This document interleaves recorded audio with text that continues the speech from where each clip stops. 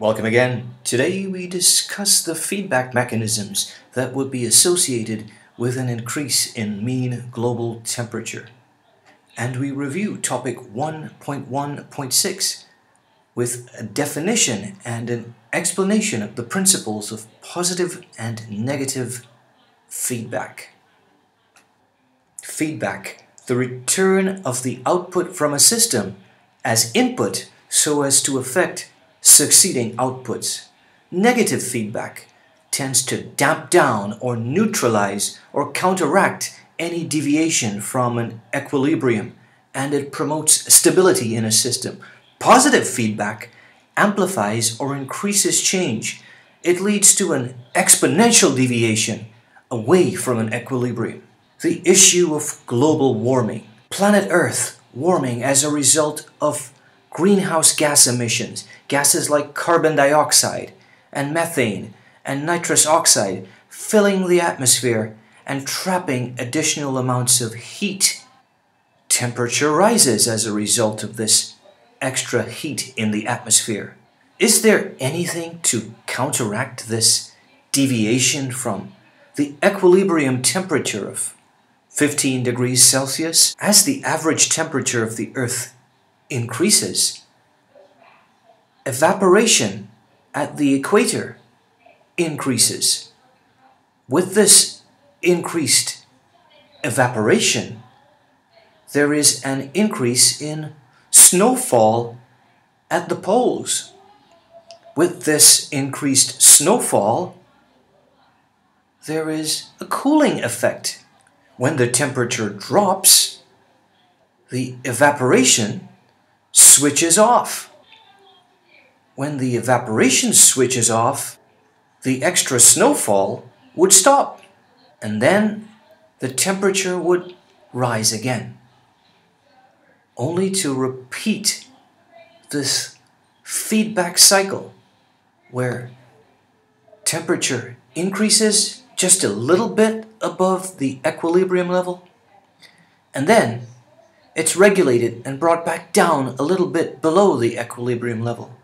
So over time, this negative feedback maintains a steady state with small deviations above and below the equilibrium point. Let's summarize this with a feedback loop. Global warming brings increased evaporation. This in turn brings more snowfall in the polar regions. That creates a cooling effect. The cooling effect brings a decrease in temperature. And the decrease in temperature reduces warming. But if warming is reduced, then evaporation switches off. And when evaporation switches off, snowfall switches off. And so does the cooling effect. So then it would start the cycle again, leading to this oscillation above and below the average temperature.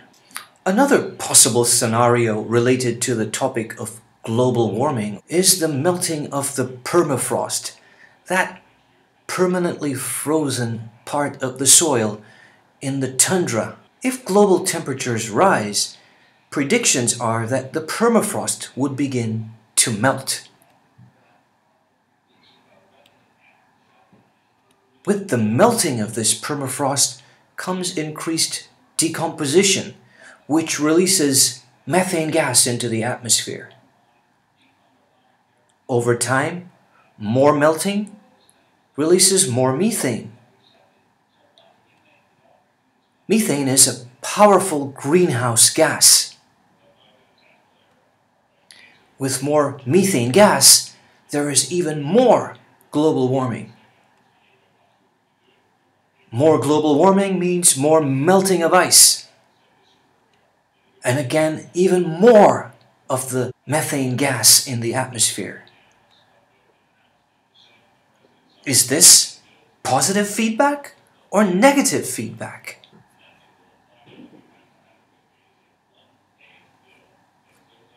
Complete the feedback loop below for the melting of the permafrost.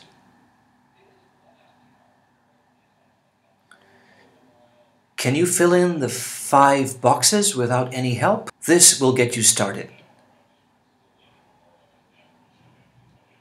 This is the second step.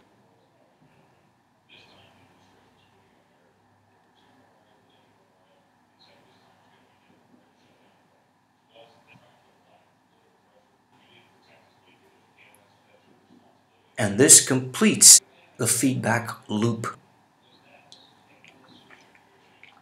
The self-regulation of natural systems is achieved by the attainment of equilibrium through feedback. Negative feedback is a self-regulating method of control leading to the maintenance of a steady state equilibrium. Positive feedback leads to increasing change in a system.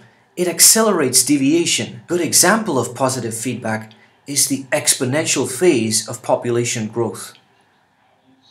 But all feedback systems involve time lags. Distinguish between steady state and static equilibrium. Explain the significance of negative feedback in maintaining steady state equilibrium. Classify each of the following as positive or negative feedback.